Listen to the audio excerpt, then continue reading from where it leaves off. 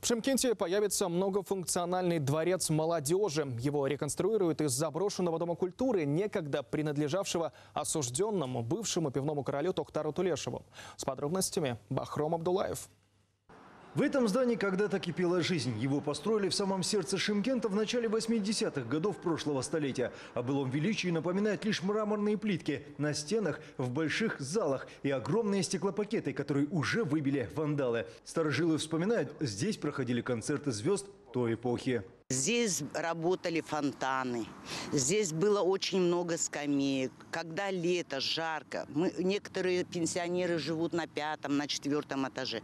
Мы выходили здесь, сидели, детки бегали, играли. Вот такого беспредела, как сейчас, не было. Жители микрорайонов рядом с территорией Дома культуры надеются, что объект вновь перейдет в собственность государства и будет отремонтирован.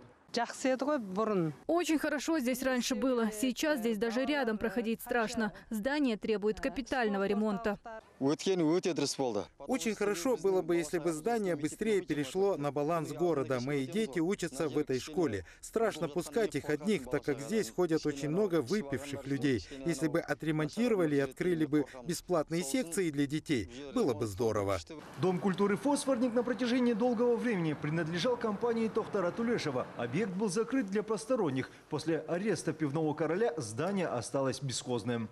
Пресс-службе город администрации рассказали, что 13 ноября этого года была достигнута договоренность о передаче данного объекта в городскую коммунальную собственность. Чиновники планируют провести благоустройство прилегающей территории и реконструкцию здания в многофункциональный дворец молодежи. Остается надеяться, что эти работы завершатся до конца следующего года. Бахром Абдулаев, Жансерик Бурумбаев, Шимкент, Первый канал Евразия.